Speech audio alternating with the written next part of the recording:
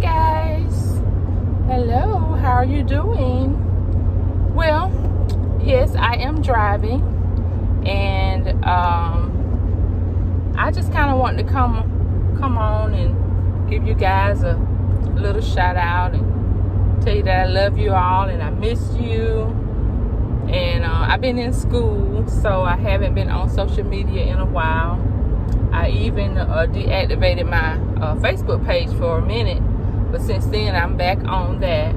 Um, school has been kicking my butt, so I'm trying to get my specialist in uh, leadership, and um, it's it's been challenging. It's been challenging, but I have my support at home. Um, my husband has been my biggest fan, and I have uh, people on my job uh, that are already in uh, administration that has been helping me as well.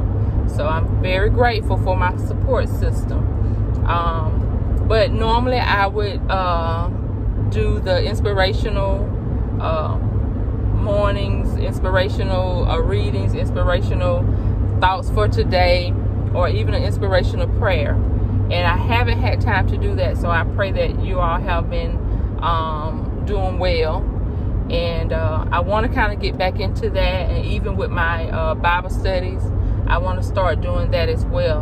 Um, I've been studying the book of uh, Exodus about Moses, and I'm I'm learning some new things. You know, like you grow up with the stories, and you've heard the stories before, but you know, every time you read the scriptures, the Lord reveals something new to you every time. Did you know that?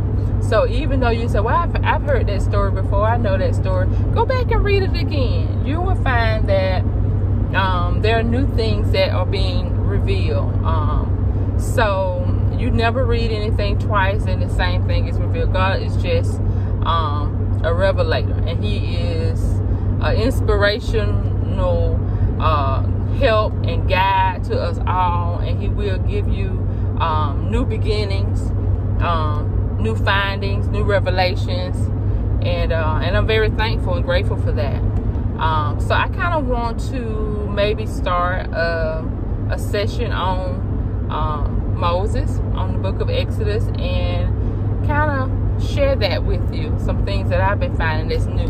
I'm not talking about the same the same old thing about you know all the plagues and the you know the parting of the Red Sea, but that will be in there, you know, but that won't be the focus. Um, I just kind of want to share some of the new things that God has uh, been giving me.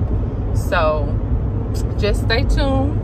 And I think I think we're gonna go with uh, some Bible study sessions on um, talking about Moses on the book of Exodus. So just stay tuned for that. And um, until then. Uh, God bless you all, and I hope that you have a wonderful and prosperous day. Thank you, guys. Signing off. Later, see. Bye bye.